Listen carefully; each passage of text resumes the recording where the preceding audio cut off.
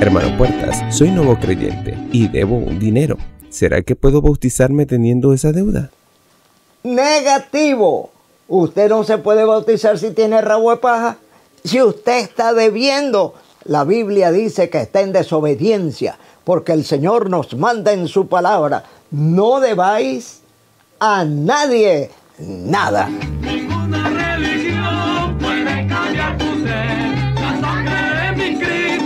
Get along.